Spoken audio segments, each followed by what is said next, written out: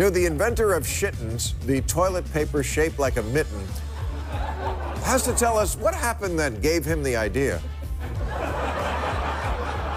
I have so many questions. So, yes, I do want to meet you. But no, I don't want to shake your hand.